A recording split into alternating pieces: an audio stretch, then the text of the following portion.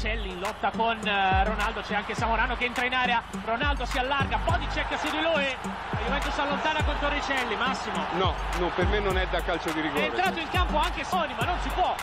Non so se le immagini ce lo mostrano, Simoni è 15 metri dentro il campo, eccolo qui. Esatto, esatto. Intanto dalla parte opposta c'è un fallo Calcio di ed è rigore. calcio di rigore per la Juventus. Qui succede di tutto. Questo, questo è veramente, queste sono veramente delle reazioni allucinanti. Calcio sono, di rigore per la Juventus. sono veramente delle reazioni allucinanti.